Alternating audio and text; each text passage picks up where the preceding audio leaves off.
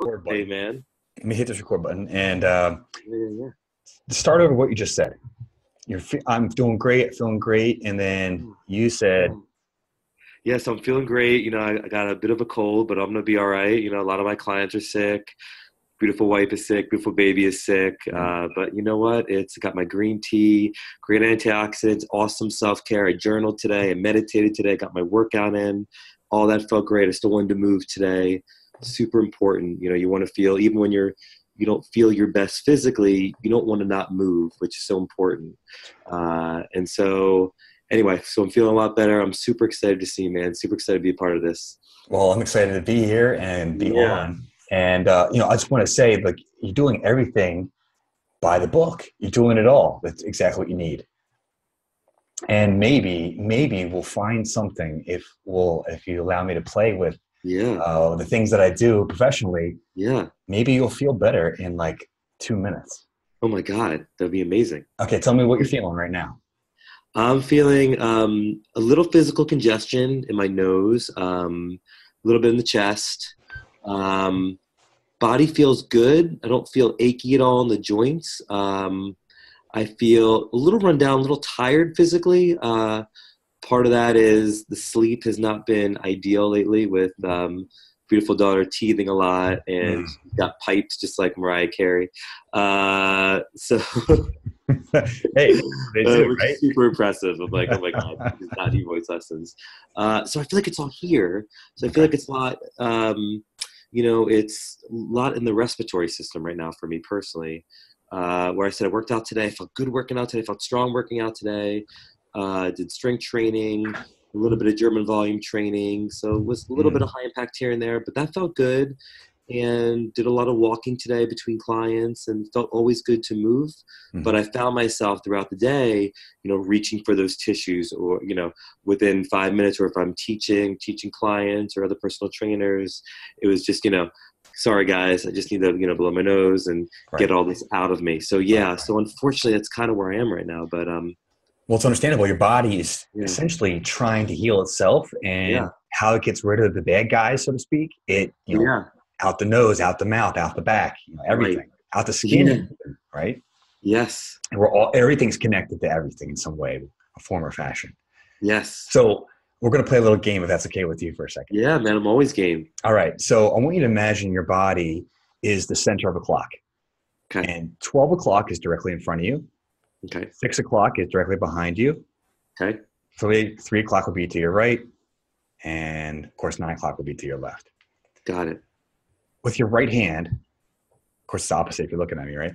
It, Yeah, kind of reach back to that like five o'clock position down by your hip area. okay, Okay. And then move your hand about, I don't know, about a foot away from your body. okay, All right. So you're not touching your body. Your hand is, the palm of your hand's facing you, and it's kind of at like that five o'clock position. gotcha.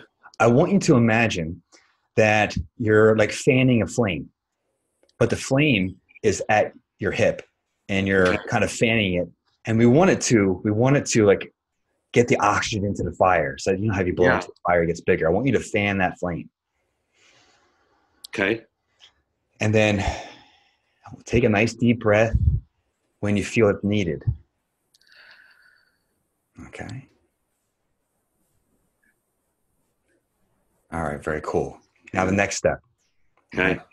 You can imagine the gorilla in the jungle pounding the chest. Yeah, I yeah. want you to do old that one hand, two hands, either way. Just do it a couple times right in the middle of that chest. All right, cool. Super cool. All right. Now that's Yeah, a important. little practice with that one. Just a Yeah, little right. That is actually the thymus gland is right underneath that chest bone, and that's Right. part of our immune system. Yeah. And so what we're doing, we're stimulating that here. Okay. Now over here, that's an energy healing technique that I just. Uh, uh, I'm not going to go into too much, though. I just connected with you. I found out where your body was kind of stuck in the energetic Yeah. in the energy world, and then Yeah. we move it. Okay. And you know what's really this? Is, I mean, the audience is going to think this was you know so planned, but it's not because I have to tell you, I did you know one of the cardinal sins last night, which was I had fallen asleep on the couch around like 10, 30, 11 o'clock, so a reasonable hour. Um, but I woke up in my hip, my right hip. So you mentioned the hip, and you mentioned the right side. Hand to God, was truly bothering me. And, Yeah. you know, I got on the FOMO, I did the self myofascial release. Obviously, that certainly helps. But what you just did really made me feel better. I really could feel the lengthening. I swear to you, that was awesome. I, I- know it, it, it Yeah. could be like, oh my goodness, this is such a planned thing. What is going on is we're all connected in some way. If we get into that really kind of interesting thinking, the philosophy of life stuff, we're all one. That's kind of a thing we've been hearing a lot lately, I feel. Oh, yeah. And so this is in part what I do with my clients. You're just like if you walk into a party, you go to Mhm. someone's house or you meet somebody, you can kind of get that feel. Oh, yeah. Is good to be there? Is it not good to be there? And this, Yeah. I just took that to the nth degree, and it's something I've been studying for um, more than a decade now. So, Oh, sure. so it is an evolving practice. However, it was just so perfect that here you are, you get you're dealing Oh, with yeah. something, and we need to help shift that energy. Yeah. Yeah. That was wonderful. Seriously. That's awesome. I'm glad. to do more of that. I I, you know, I'll have This to look back at the recording, but I feel like your your face looks clearer. You know, more yeah. clear, uniform color. Yeah, it was really helpful. Uh, so I had an opportunity to read your book, Great. and I really enjoyed it. And I thought that we shared a lot of the same practices. I thought we shared uh, the same wavelength of the mind and body connection. And in my emotional practice with my clients, one of the things that really struck a chord with me is, you know, we talk about being worthy. I mean, Mm. certainly all roads lead back to self love, but we really talk about being worthy and being your biggest fan. And I thought that was very interesting that you had something about that in your book. Uh, and then I also found it very fascinating about you were talking about in your 20s, you know, how you taken this personal journey of, okay, I'm feeling, I have some physical things that I shouldn't have in my 20s. Uh, you know, there were some other, you know, extreme personal things that were going on with you. And then you made that incredible shift in your life to want to do even more. You wanted to progress. And I'm just, I would love to know personally how you made that shift. Where did you, when did you decide, okay, all these things are happening to me. You know, my health is, could be at a detriment here. These are real physical problems. These are physical elements, you know, Mhm. We you know, and you talk about the weight gain and so forth. And so I'm just curious to know is you had to have that wherewithal. You talk about in your book about making decisions Right. you know you talk about you know making choices so was that a choice that you made exactly on your own did you have a mentor at the time i just would love to know that because i found that incredibly inspiring Well, uh, you know, a little bit of my story. I was at this point that we're talking about about 26 years old.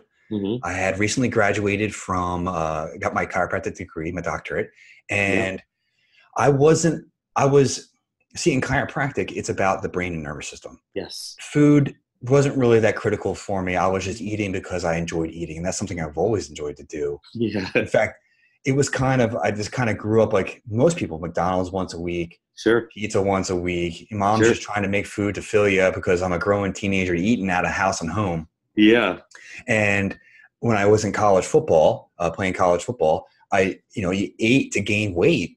You know, the bigger you were, the better you were. That's it was part of the philosophy, hmm and and you needed to pack on those pounds. And so I continued that eating habit.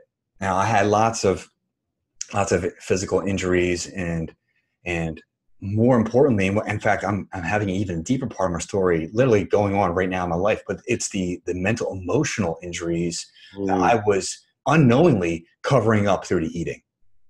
And Right. so now here I am. I graduated. I've done. Yeah. I, I've I've gotten a job. I'm, I'm a real I'm a real person in the real world now, and I'm still eating hoagies at lunch and cheesesteaks at lunch and meatball sandwiches and fast food because I don't want to cook because I'm tired.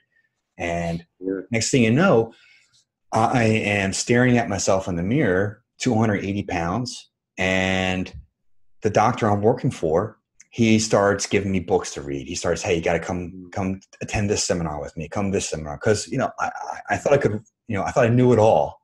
However, I barely, I, you know, graduating gave me the right to be a doctor, and it gave me the right to learn more, and that's what's Mhm. required. Yeah. So here I am sitting in the seminar about lifestyle. It was by professional Dr. James Chestnut. He taught this program called the Certification for Chiropractic Wellness Practitioners. And basically, it went into genetics, our food, how we think, and how we move. And so when I attended that How We Think ver- uh, module, yeah. he's asking the audience these questions. And some of the questions that really started to connect with me, he goes, Well, he goes, look at your parents. Think about your parents for a moment. Mm. Think about their food choices. Think about their movement choices. Think about their their conversation choices. Mm-hmm. Now, that's going to be you in about 30 years. And I looked mm-hmm. at my mm. parents and you know, I love my parents. They've they've done right by me by in so many good ways, and they've also challenged me in some ways that I'm not happy about. However, I looked at their health, and it is not where I wanted to be. In fact, mm. I was right on track to be where my dad is at 60, and I wasn't even 30 yet. And wow. was How about really a smack in my face. I'm I'm basically a living hypocrite at that point. I'm teaching these health classes. I'm obese. I have pretty much everything they call now syndrome X, but pre-diabetic, high cholesterol, high blood pressure, skin mm-hmm. rashes, uh, male male organ challenges, uh, mm. just anger issues, and these were all common. How did I solve this? By eating. You know, run to the Wawa, get the ice cream, order the pizza, no big deal. But I stuff the emotions down, and literally that's what we do. We eat to stuff emotions down. Sure. It's one of the ways people do it. Agreed. And Agreed. that's where you know that that seminar was a big wake up call, and I was you know I guess I was so horrified with myself that it was it was either do or die at that moment. And so, and was, yeah, this was really like your life was on the line. It really was, and literally it was. Um, right. So it was, and I think this is where a lot of uh, men get is it's the it's the rock in the hard place. You got your lowest point in life, and then you're either going to keep doing it or you're gonna you're gonna make a change. Right. So I chose I chose to make a change because I had a lot of life ahead of me, and I had so many things I wanted to do and accomplish, and and that's where I that's where I made started to make those decisions. And with the help of the guy I worked with, that his name Dr. John Wilkins, and the program that I was attending to get this get this wellness certification. You know, and it's really funny because I didn't even know what wellness meant back then. I really didn't. Yeah. Yeah. Yeah. And, and this is something.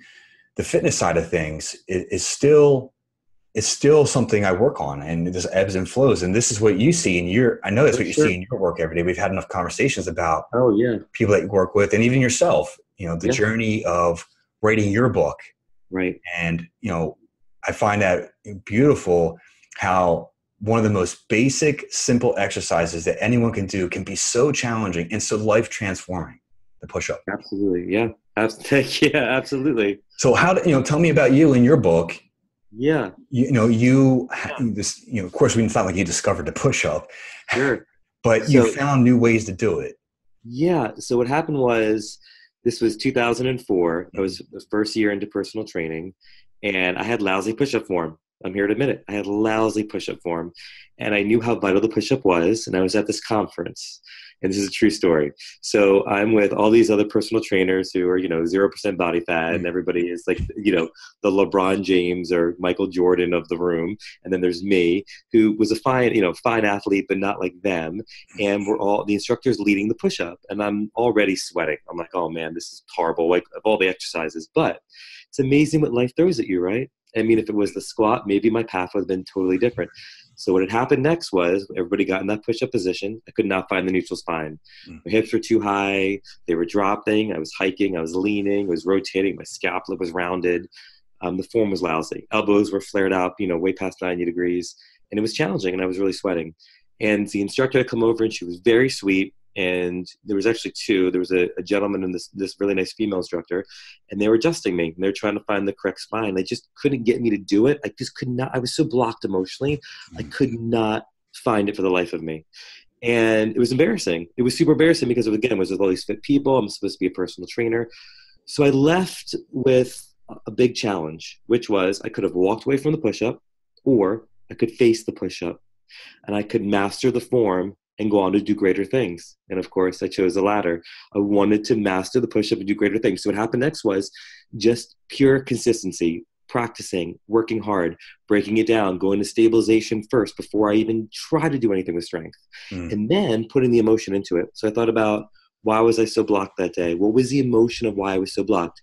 Personally, took me back to being 11 years old, being you know sort of bad at sports in the beginning of my athletic career you know, being packed, you know, as sort of like an overweight kid, being picked last in gym class, the emotion of being in front of my peers, uh, the fear of judgment, the fear of failure. Mm-hmm. and I was blocked. I was blocked that day. So I made a promise to myself, Dr. Kevin, that I would not at all ever be in that position again. It was okay to be vulnerable again. In fact, you want to be vulnerable because that's where your strength lies. Mm-hmm. But I would not be fearful of a physical activity. I made that a promise to myself. So, as I said, lots of consistency. And then I took the emotional aspect of it of, okay, the push up, it is a super challenging exercise for a lot of people. And I want to make it doable for a lot of people, but we're all blocked. Like you mentioned earlier, we get blocked when it comes to emotional eating. We want to eat our emotions because that makes us feel better. It makes us feel that we can control the issue. But it, as you know, it's a one way road to what? Just self destruction. Right. So if we reverse it, I want to make the push up your friend. I don't want you to fear it like I did. No, I want you to embody it. I want you to be your bestest friend. I want you to, you know, cozy up to it, you know, cuddle with it. And so what I started doing was I started thinking about that deep trauma. You know, could be something superficial of uh, you know i hate my job to you know if i'm speaking to the everyday person or i got into a fight with my spouse or i have a parental issue that i really want to you know sort of target and, and, talk to my parents about. But for me there was some real trauma as a child that i really wanted to target that i really wanted to zero in on. And i'm in the push-up position of the very very top so i'm that concentric phase. And okay so i'm really starting from head to tail where i have my ankle complex forward. I'm making sure my knees are fully extended my glutes are engaged. You know, I'm really engaging my transverse abdominis, as you know. Uh, my scapa is nice and flat, not rounded. I'm really in that 45 degree angle with my elbows. I'm really feeling my palms. I'm feeling grounded on the floor with my palms. Something I coined, which is called mitten hands, where you know there's no cupping. You're really feeling grounded. And before I even lower myself down, I'm thinking about this trauma, this pain, anxiety, depression, whatever it is that somebody's going through. Because as you know, we all sort of struggle with that one particular story. And I'm thinking about it, but I'm not running from it. And as I lower myself down, hopefully, you know, for somebody they can go down all the way. If they can't, that's fine. If you move a centimeter, does it, it's fine. Doesn't matter. Exactly. the idea of lowering myself down and feeling empowered and then pushing myself up. I'm not trying to get rid of it. You know, we're not trying to get rid of trauma. But what I am trying to do is befriend it. Mm. trying to lower the volume of that trauma trying to make it so you know what you can function you know what you may have that trauma in the back of your mind or that problem you know you can't pay your bills or you're fighting with your spouse it's not going to go away instantly but guess what you're going to be able to manage it better and so this is just a small practice a small tool of that i have found that i was able to find the push-up i was able to complete the push-up. I was able to find the strength and then obviously the power when performing the push-up. So i had to write a book about i had to write a book about it. Um, I had to just I had a lot to say clearly as I do now. So that was my own personal journey with the push up. Well, you know, you said some really key things there, and you know, when essentially I like to call it bringing your pain to tea, bringing the bringing mm-hmm. the challenge to tea. So mm. you you welcomed it, you allowed yeah. it to be present, and yes, you know, I look at our emotions as as indicators. They're like they're warning signs. There's mm. there these are this is the right way to take. This is something that's not right. And so your body's speaking to you essentially, and you're welcoming that message in. Yes. And then you know when we talked last time, you you know it's something clicked in me in in my in, in my nervous in my neurologic brain. Hmm. Um, and I love to study the how the brain and the body are all connected. Yeah, it's amazing. When you had that push-up position, you focused on that that sensation, that that those feelings and then you allowed yourself to go through the motion it's literally rewiring the brain yes. to to regain that self-control to regain that power to re-empower yourself. And yes. you know, whether or not you can recall the origin of the emotion or not that is one of the most key things i've ever heard. And i think what I say that. is i think if you can have that awareness with that emotion, even if you're just noticing that you're having the feeling, whether or not you can define it fully, yes, going through the push up, it literally brings the power back to you. I yes. Mean, and I think you'd agree at this point, which is the first mantra that I have with emotional fitness for all of us. I mean, you can certainly apply it to the world of fitness, you can apply it to anything. But it was key for me to even start with the push up, which is accepting your path. I have so many clients that I meet at first, and they're like, "Why am I overweight, Shaun?" Or "Why did I have to have an injury?" Or "Why did this happen to me? Why? Why?" And I was reading in your book, and I found this story really fascinating. You're talking about going back to your old high school, mm-hmm. and you're running, and you're going through, you know, if I could speak candidly about, you know, you're going through this relationship with this particular woman at the time, and should you be in this relationship or not? And you lost your keys. Mm-hmm. And so, you know, for a lot of people, I thought that was a great story for a couple of reasons. Well, one, you say, well, why me? I'm already going through this really tough time with this woman. And on top of it, I lost my keys. Like, really? Like, why me? Like, why me? And you could be angry and pissed and sad and I was. sure, totally. And nobody would doubt you for that. Nobody would would fault you for that, obviously. But you took it as an opportunity to say to yourself, what is the universe presenting to me? Mm. Why is this happening? And so that's exactly how I felt. If I go back to 2004, you know, at this workshop, right? Hence me being challenged in front of my peers with a push-up.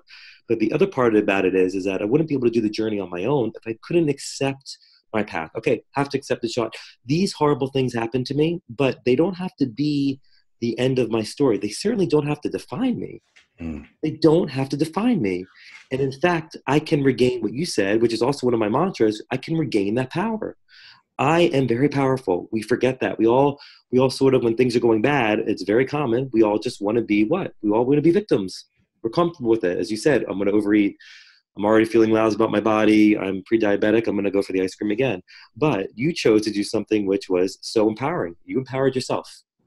Well, that, well, thank you. And that took work to get there. no, absolutely. And so, what you're saying is, when we assign ourselves the victim role, we subconsciously, meaning almost automatically, we do things, we make decisions, we make choices that that feed that victim role. We do. And this is We something totally- I learned uh, from my uh, Dr. Alberto Villoldo.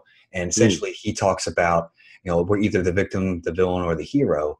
And when we recognize our story, we can shift our role. And so Right. that's what that key, the key, um, the story about the keys that I lost in the book is essentially recognizing that life is, I have a belief that life is for us, working for us. And hmm so if I have that philosophy and I lost my keys, literally the key was something in my experience with this woman I was dating at the time. I had to wake up to a truth that I was ignoring, that I was stuffing away. And Yeah. literally, I lost the keys. And until, I mean, literally, the moment I had the realization, I got a call from the school where I was running in the backwoods Yes. was- I grew up in. And Yeah. they said, hey, someone turned in keys.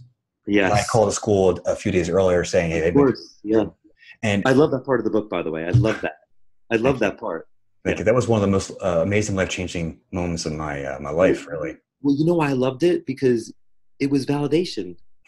It was almost like the universe validating you. Yeah. That's really what it was. and, and- So, yeah, go ahead, go ahead. please. no, So- I, I mean, I, I guess the, the thing that I'm so excited about what you said was, and I don't mean to stereotype, I wish, I wish honestly more men would do this, which we can get to later in the conversation. But you talk about doing the work. You know, you, we talk about not being the victim. You talk about, okay, look, it takes work. And I think a lot of people don't know where to start, number one, and they don't want to because it's painful. It's painful stuff. And this is not easy stuff we're talking about. Let's be honest with each other. This is work, but it's the most rewarding work you will ever do. And for you to be emotionally free, and for me to be emotionally free in taking this journey and taking our own individual journeys, we really had given ourselves no choice because you couldn't go down the road you were going, and either could I. It Mhm. was going to be destructive, you know, any way you shape it. So, you know, I'm not saying that we should necessarily drop confetti, but I guess I guess what I'm saying is is that we should be very proud of ourselves because we've done the work. We are we are because of our hard work, and that these are obtainable goals for a lot of people. But they have to certainly believe they can get there, and the reward really is emotional freedom. And to me, that's no greater reward. That's happiness. That's everything wrapped into one. Whatever it is And- you're searching for, that's it. That's It's, it. it's more than you think that it is. Right? And So it? Eh? That's the that's the you know the pot of gold, in my opinion. it, it really is because when your emotions they can control your life. And what we have to wake up to is that the emotions are the indicators, just like the check engine light. And so when something's out of whack, there's something to be addressed. And like Oh, you yeah. said, you know, I, I think we should jump into it right now. As as men, it's Yeah, let's do it. it's not it's not the attitude that we're raised in. At least most of us are not raised in. Yes. You know, I, I grew up in a very much you know lift more weight, hit harder. Uh, don't don't tell me if you're hurt, only if you're injured type atmosphere. Mm, And you know, I wasn't going to be the person that said I'm injured, so I just sucked it up, and that's been a lot of my life. And there's times when I was 26 that culminated to either to a huge decision point. You know, that's the that was a fork in the road moment for me, and Mm. so I, I'm very thankful that it chose the way I chose. Yeah. However, however, I do believe even if I chose a different route that that that time in my life, there is another choice point later on in life where I would have had another opportunity to make a positive decision for myself. I agree. And literally, I'm the last. Let's see, we're gonna the last three months. Even though I've done the work, I'm at another place where I, I I've asked to go even deeper. Beautiful. And the challenge has come. I promise you, and it's been it's been harder than the first one. And yep. less than two hours ago, I was at my doctor, my natural healer, and he's doing something to me that I, I do with other people, and I feel so free today. I I'm, I literally am on top of the world today, and it feels so good that we made this call finally. And uh, I, everyone, everyone who's watching, this is probably what our fourth or fifth attempt. yeah, yeah, yeah, yeah. It's a, it's so amazing. it's it's another synchronistic moment, and I see life that way. And yeah. life continues to show me that it's an accurate way of looking at life. Right. And that's kind of what the book's about. It's about letting you know that life is talking to you, your body's talking to you, yes. your experiences are talking to you. We have to wake up and learn to read the language. Right. Yes. And so just like with your push up, you know, I I want to ask you about, you know, that that form, the first time you were in that push-up class. You know, yeah. from, from my recollection, you grew up in a very fitness-oriented family. Yes. Yeah. And so, you know, you when I heard your story the first time of that, that kind of surprised me. Yeah. But now yeah. hearing more of the story that you've been sharing over the last couple months, it makes yeah. sense. It makes sense. Yeah. You were basically blocked from areas of your life, therefore areas of your body, oh, and oh, yeah. unaware. Oh yeah. I had so much rage, so much repressed rage hmm. from, and I'm just going to be super transparent because that's where we're going today with yeah you know, uh, sexual abuse as a child, um, to club feet. I mean, I had some, there was some real physical things that were there, um, you know, motor skills that I had to work on, but I had things that I just did not address, like most young men do not. And unfortunately, it was bottled and stored and repressed. Uh, and that was a challenge for me. But yes, I grew up in a you know grew up in a very very healthy household. My dad was a professional bodybuilder. We had a really nice gym always growing up. I remember I first lifted uh, my first bench press at 13, and I was laughing. I was, I mean, this is such a beautiful moment where my dad has spotted me. Said, I mean, my dad is you know he's such a loving father, but he's so neurotic in the sense of he wants to make sure I'm okay. And I'm you know benching, and I'm laughing my ass off because I was so happy I was moving. I was so happy I was getting that energy out of me, mm. and it was such a beautiful. It was a beautiful memory of mine, mm. you know. And my dad was so worried I was going to hurt myself. He's like, "Oh, you know, concentrate on the way. Why are you laughing?" But for me, it was freeing. It was finally, it was starting my my physical journey for me personally. Um, but anyway, but so I've been really open about that recently, in the in the sense of wanting to help other men, mm. wanting, to, and of course females as well, about you know owning your truth. Mm-hmm. And I, the irony is that I see my mentor as well on Wednesday. So, uh, and we we're talking, and you know, I I had probably no exaggeration when I tell you this maybe close to i could have written just a book on this alone probably 300 pages of journal entries mm. um, all last year. So from january 1st december 31st this is 2018 obviously. And i remember my 40th birthday had come and i had all this repressed anger still last year around this time that was really manifesting as anxiety. And I couldn't figure out what I was anxious about. Maybe I was really anxious about wanting all this work to be done with, but I couldn't really pinpoint it. And then I dove deeper with my mentor and we started talking about it. And she said, look, this is not, this is not anxiety, my friend. Mm. Know, this is anger. You have still, you still, you are aware of the anger intellectually, but you're not in touch with it emotionally. You still need to get in touch with emotionally. Mm. And it was hard for me personally because working out is so fun for me. I enjoy working out. Uh, but I had to sort of, I wanted to experience the anger physically. So, and doesn't necessarily mean yelling, doesn't mean screaming. It just means getting that emotion out of your body in a healthy way because anger can be very healthy. And I was told, you know, from different people growing up that anger is not a healthy tool and that we don't get angry. But I realized that that was wrong and that it's really important to feel anger. It's really important to embrace anger. So, long story short, I celebrated my 41st birthday, uh, 41st birthday um, a couple weeks ago and I felt much different this year than I did last year. Mm-hmm. And I was telling my mentor, you know, you mentioned about if you if you miss your opportunity to listen to your body it's okay there'll always be another opportunity Right. and then you mentioned about going deeper and that was me last year just when i thought i overcame something there was another battle or there was another dragon facing me or you know and i felt like you know some you know mythical creature like achilles or something like oh i gotta fight another bad guy but last year was a lot a lot of hard work for me there was a lot of emotional heavy lifting last year in a great way and i wouldn't change anything because now i'm starting to reap the benefits of this emotional freedom that i'm feeling and i'm one with the anger and i don't feel anxiety at all in fact I'm, i've never been more present but that's again because of the hard work that i did so it was really nice to sort of celebrate myself a year later Mm. you know, of course, this was many years in the making. It wasn't just doing the work for a year, but doing in this incredible, intense work. So anyway, I guess what I say is, is that again, there is no better reward than actual, you know, going through the work and realizing, okay, if you overcome the first step, that's okay because there's always going to be something else to work on. But you don't fear that; you embrace that because you are becoming your best self.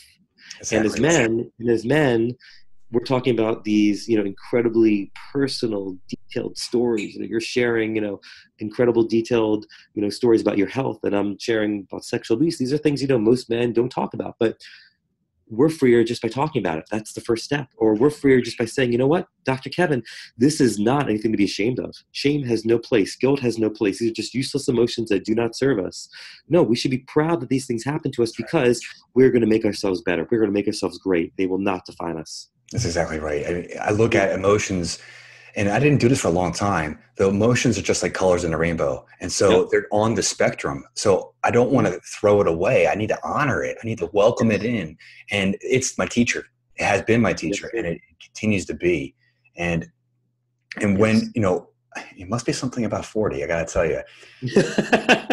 and literally there is there is some legitimacy to that you know Yeah, on, on the inside of our body there's there's times yeah. between 36 and 40 and then uh, 47 and 50 that we all go through Yeah. these different transitions uh, Mhm. physiology, uh, physiologically and so it also comes with a mental transformation Yeah. and i look at it as, as if i you know the diamond analogy the diamond only forms from coal through pressure Right. if one other analogy you can't get juice until you squeeze the fruit so Right. when That's I when I have dedicated myself to be my best version, to like you, to help serve people to improve themselves, I think we both believe in the philosophy of the of the rising tide. That when the tide rises, all ships come up. So yes. I believe that when I do good things for myself and I do good things for others, it helps the entire planet. True. There's actually Agreed, science to this. Actually, it's called the hundredth Oh. monkey study, a hundredth monkey effect. Nonetheless, this this last couple months has been really challenging for me, and I don't believe I've fully uncovered what it's all related to. Hmm. Yet, the more I talk about it, the more I let people know in my circles, and the more I reach out to. And I'm very fortunate because of my position in life. I have wonderful doctor friends, and they have all kinds of interesting knowledge, and I tap into those resources. And and I, this is part of my mission. I've, I'm discovering now is to share that essentially the body is holding on to some of these these emotions, and I agree. we consciously may not be aware of that. I mean, just think of our body processes. Oh yeah. You know, we everyone heard that we've only used ten percent of our brain. Well, that's our that's our thinking mind. That's our conscious mind. The Mhm. rest is operating automatically. And yeah, we can have some influence when we breathe and things like that. Mhm. So there's these te- techniques that I'm learning right now for my own healing and and things I've been sharing with people for the last five, ten years that tap into that subconscious realm to help it release. And that comes out with crying, it comes out with anger, it comes out with laughter. And then Yes. once it once it runs its course, sometimes a story I can remember, and sometimes it, there's there's no need for the memory, so it just goes. And Right. then you know so many interesting things happen that i've noted in my own self and my patients and experiences literally there's more motivation there's more joy. You start looking at life in new ways your perceptions improve. It's just it's like life becomes beautiful again. Yeah. and i want this for everybody because I- like you said it's it's the happiest times in your life when you have these you've done the work and and now it, it Mhm. comes around a few weeks days months maybe even a year later the benefits are there when you look back Yeah. 41 to 40 and you've i mean you know and and to be you know to be transparent again you know we talk about you were suffering you know you're making choices because you know and i say that with respect to i was suffering you know you're when you're when you're in it you know you're suffering and it's painful. And you know you do what you do and i do what i do because we want to help people not suffer. Right. we want to help people get there faster. And you're allowing such an honest place for them like you said to share their emotions because you know i thought it very fascinating you know if i'm feeling something in my neck or if i'm feeling something in my hip like we, talked about earlier in this conversation you know it's not just always physical. And i say the same thing to my clients when i meet a first client you know when i meet somebody for the first time or when i see somebody on the regular how's your body feeling? What's going on? How's work? How's family life? Even though those are personal conversations to have they are so crucial and critical. I can't just know about the body. Okay, you're feeling overactive here, you're feeling weak here. That's that's so superficial, as you know. I got to go deeper. I, mm-hmm. It's so important to have that knowledge. And as you said, you know, when you're with somebody and whether they cry or whether happy or frustrated or angry or sad, whatever emotion they're feeling, I mean, you're always so, super honored to experience that. I know I am as well. But that's the release. That's the the organic release that individual needs for whatever reasons going on in their life. And it's super empowering. And I tell clients all the time if they feel that way with me, I had certain clients that do that today, if not yesterday, if not this entire week. And they always want to apologize. And I say, there's nothing to apologize for. Absolutely not. That was an organic emotion that you just experienced. I want you to own that. I want you to stay with that because that's your power right there. Yeah. It really is. You know what? In, in my circles, we call that the innate intelligence, the wisdom within, and it's constantly yeah. talking to us and when it has the opportunity because they feel safe with you because mm-hmm. they feel you know that there's that vulnerability and that vulnerability is is like an, a sweetness it's an openness it's a uh, it's it's the door that allows yeah. that flow to occur and then when that happens there's just beauty that comes every time even though it may not feel that way because it has to bubble up sometimes and as it as it bubbles up the stories come, the feelings come, and our interpretations come, and our perceptions come with that. Mm-hmm. But many of those are not based in truth. Right. And so that's what we're talking about earlier when we take on that victim role. It's not based in truth. Right. And I love what you just said you know because i'm you know for me in my emotional fitness practice again that first step is accepting your path which i know is the hardest for most people. That's the literally i think uh, the the five steps in my program i think that is literally the hardest step. But what you just said i think is super empowering. That if you miss your moment if you've missed your opportunity it's okay. There's going to be another opportunity. Absolutely. The universe will keep sending you these signals or these teaching moments which I think is so amazing because you know I don't want somebody listening or to hear this or to watch this and say, well, you know that's it for me. I already missed it. No, you haven't missed it. And I say this to clients all the time where they're like, Shaun, I haven't. You know, if I see somebody new for the first time, right? this is a true story where this person wanted to lose a certain amount of weight. They didn't reach their goal in the past. They're with me now to lose this weight. And of course, I want to go over the emotional response. Why do you want to lose this weight? Mm. But I say to this person, even though you haven't lost it before, even though you weren't able to do this exercise before, I don't like that word always because that is a temporary word. It's a temporary word that doesn't mean it's negative talk. It doesn't mean that it's not going to happen for you. You know, I think if we can get inside our heads and be kinder to ourselves, because I really want to talk about that, and I, I know you do that a lot.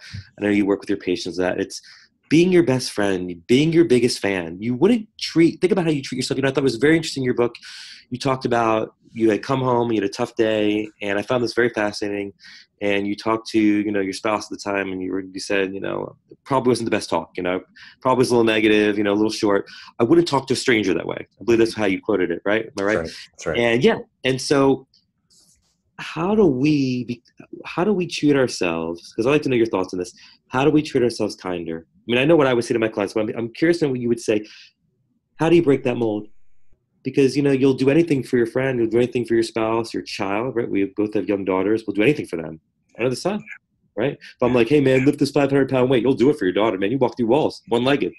You know, you'll do a pistol squat if you had to. but maybe if it was yourself, not so much. So, right. how do you how do you how do you change that? How do you change that way of thinking? Well, there's a couple different ways, though. One of the ones I like the most is first you have to become aware. You have to become yep. aware that you're having a thought in the first place.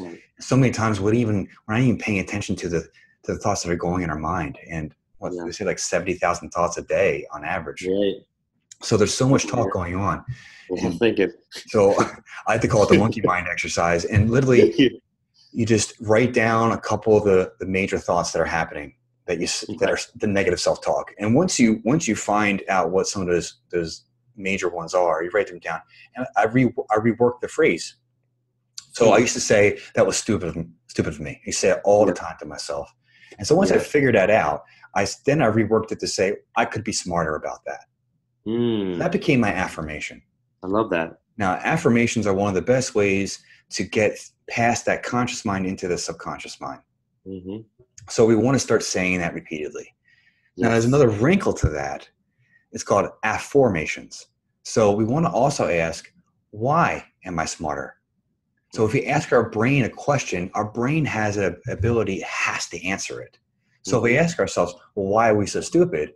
Or how could we be more smart?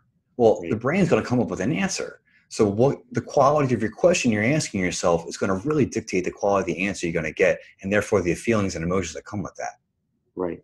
Now, if you know that you're asking good questions and you and, and yet you're still getting negative responses, there's something that has to be worked on, something mm. that has to be helped. So yes, I like talk therapists. I like all kinds of different therapists there. Mm-hmm. But there's some, there's lots of self healing techniques. There's something called emotional freedom technique, where you mm-hmm. tap different spots on your body that are related to the acupuncture system.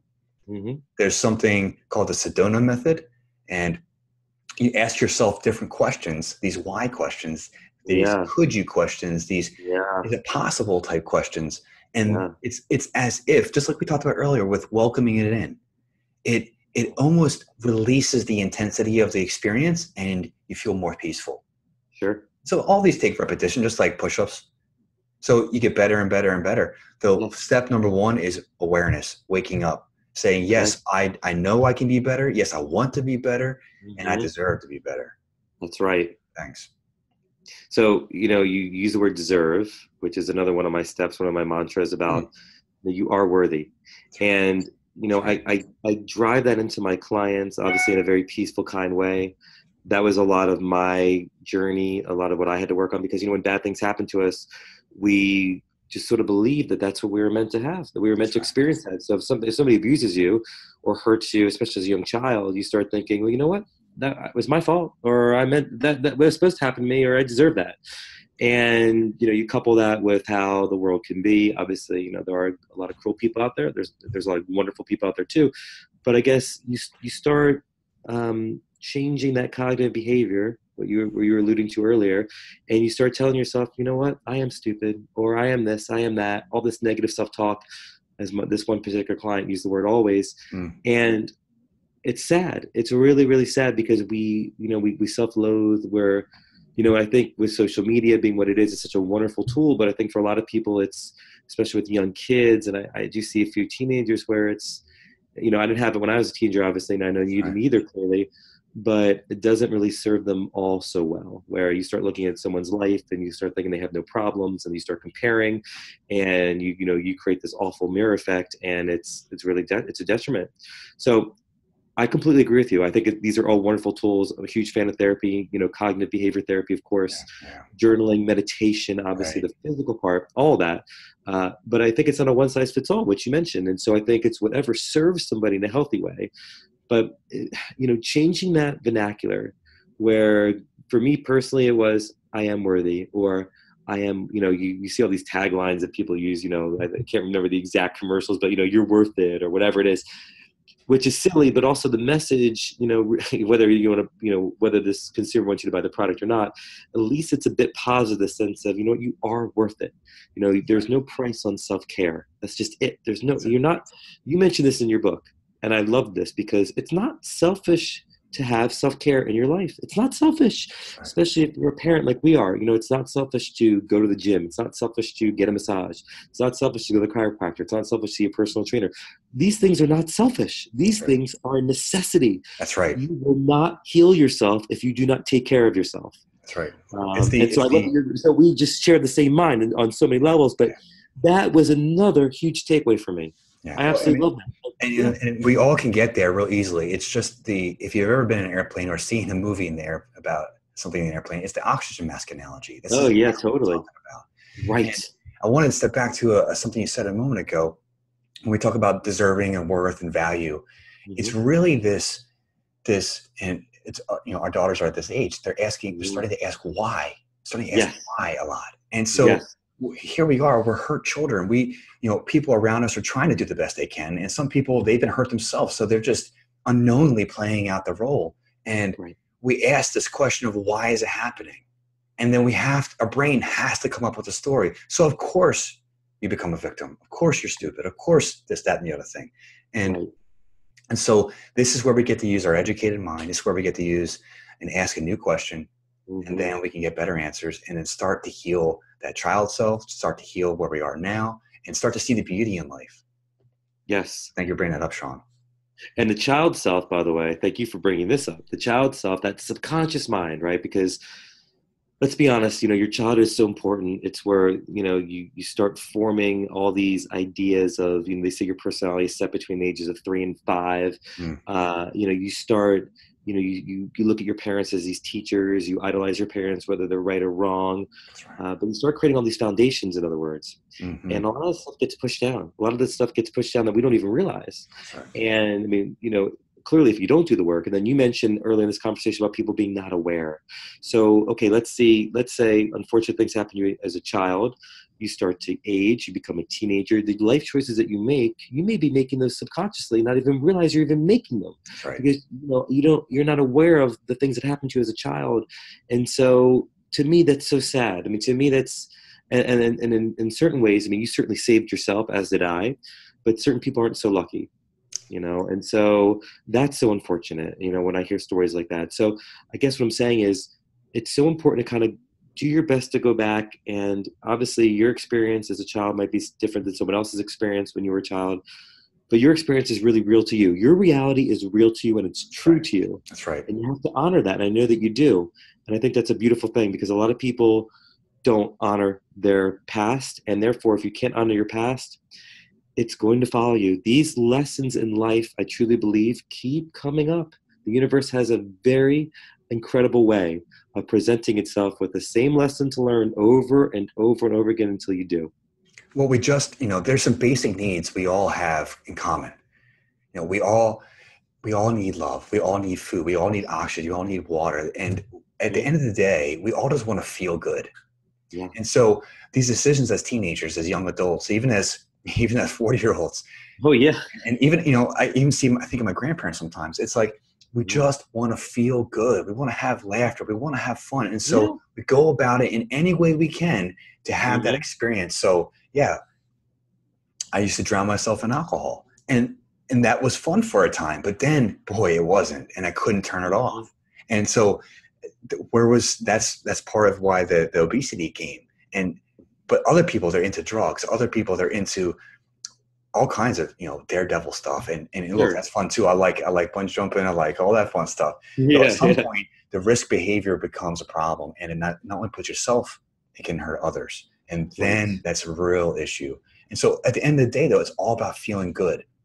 Agreed. So when we like we've been talking about the whole time now so it's about accepting number one step one awareness accepting. Mhm. this is where we're at and if anyone's out there and needs assistance a, a contact. I know Shaun is open. I know i'm open. There's so many people out there that are willing to assist you in, in the journey. So it's you that has to do the work. You got to say yes i am. I'm ready. Yes you know and what entailing. You know that you're right. ready to take that step. Right, because you can't help somebody that doesn't want to help themselves. that's right. Yeah, that person has to want to get help. And, you know, specifically to the male audience, Mm. if you have a problem, if you, that- that is not weakness. Vulnerability is a strength. I want to say that again. Vulnerability is an absolute strength. You don't have to suffer in silence. You're not any less of a man if you're going through something that you don't know even what it's about. That's or right. if you're struggling for any particular reason, that's okay. It's absolutely okay. You're going to become a better version of yourself just by talking about it. There's no crime in talking about it. And if anything, I think it makes you more of a man that you can open up to these things because you're brave enough to address Mhm. yourself versus That's right. just put it away into some bottle or some pill or whatever that may be. That's right, 100%. Yeah, right on, Shaun. Well, I think that was a great conversation. Uh, this is, we went very quickly, almost Yeah. an hour long here. we covered uh, it all. We're gonna have to do it again because I know we got oh, more yeah. material. There's but always more to cover material for sure. Yeah. Um, so, Kevin, how can people reach you? Well, my website, drkeving.com, is Okay. the easiest way. Uh, I Okay. wrote the book, uh, Decode Your Pain. Hopefully, it's coming out straight, and that's me on the cover. I'm giving it away sir. for free, cover the shipping. I want people to get this That's material. incredibly generous.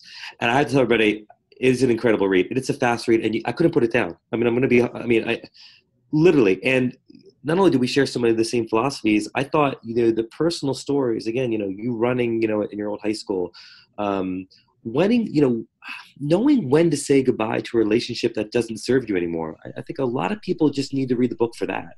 Uh, and then your own personal journey, again, how I asked you to begin this conversation, you know, making steps in your 20s to obviously be your best self in your 40s. So it's incredible read, incredible read. Well, I want to say And the that fact that you're giving it for free is super generous. Well, thank you, thank you. And you know, I, I it's a it's a calling of mine. It has it had to come out. I had to express. Mhm. Just like anything that's been built up, repressed, what it suppressed, it has to come out. So it's going to come out one way or the other. And Oh, this yeah. is a gift that I've been given because I've leaned on others when I needed that. And this is really the reason I'm here is because of other people. Because I knew something that I, I owned that I didn't know how to do it.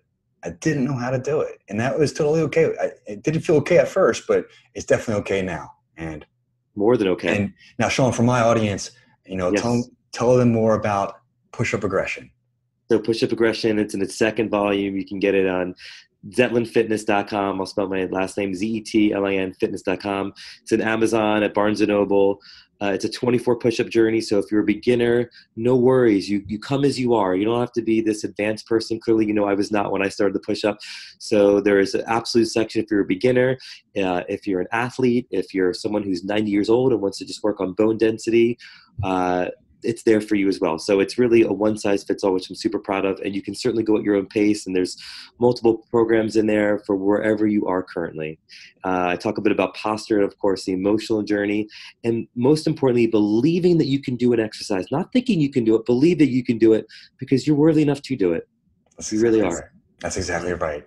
Well, Shaun, thank you so much for your time. Thank you, man. This was super fun. I can't wait for the next one. That's right. That's right. All right. Beautiful. Thank you so much, Dr. Kevin.